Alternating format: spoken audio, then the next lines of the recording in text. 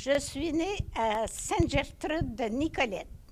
Et euh, maintenant, ça s'appelle Bécancourt. Ma famille, c'est une. euh, mon père était cultivateur. Et euh, je suis toujours restée jusqu'au moment de mon entrée au noviciat. Ma grand-mère restait avec nous. Et il y avait dans la famille dix enfants, dont je suis la dernière. Je suis allée à l'école pour commencer. Et Madeleine arrivait, puis elle disait Maman, j'ai une leçon pour l'après-midi, est-ce que tu vas me la montrer? Puis là, il fallait que ça soit tout de suite. hein. Je me disais Quand je vais savoir lire, je vais être capable de les faire toute seule, mes devoirs, puis toute seule pour apprendre mes leçons. Elle est pensionnaire. Et ça a, été, ça a été un gros défi parce que là, la vie changeait complètement. C'était des religieuses qui tenaient le couvent. Je ne connaissais pas les religieuses. Les, les élèves qui étaient là, je ne les connaissais pas. Je suis allée à l'école normale de Nicolette. Et là, bien, je suis sortie professeure diplômée pour l'enseignement. Et j'avais 17 ans. J'ai eu 18 ans à l'été.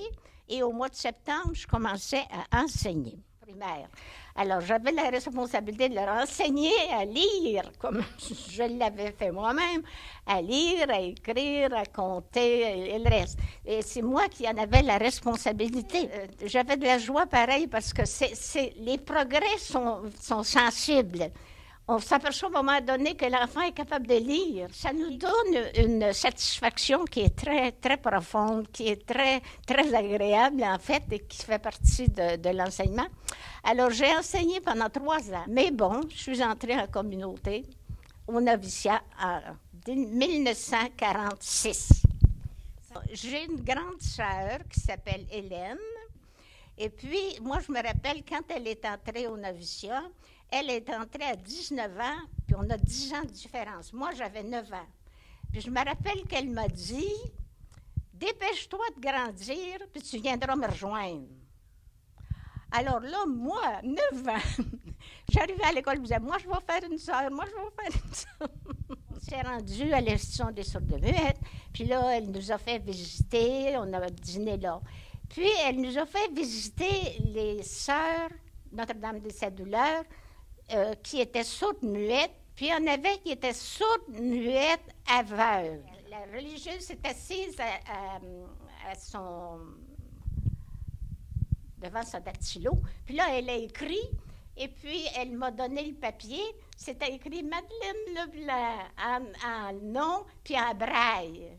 C'est l'écriture braille.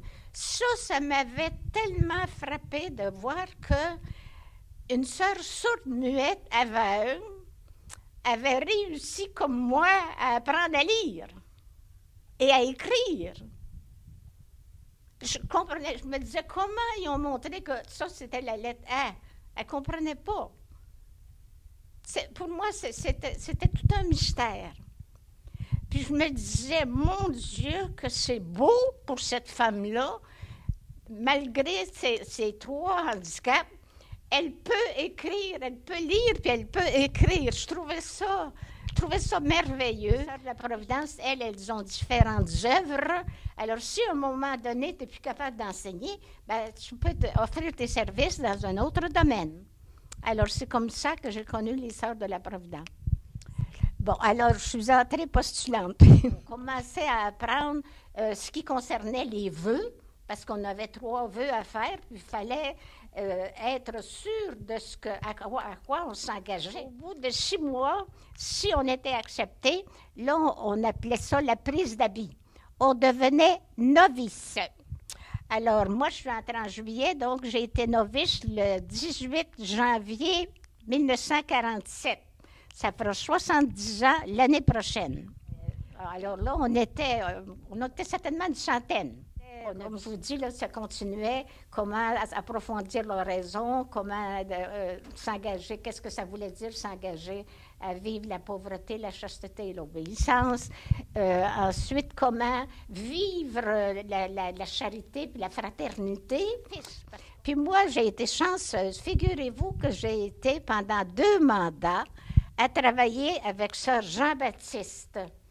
Vous savez, elle, elle a écrit des livres, là, La foi, l'amour de Dieu. euh,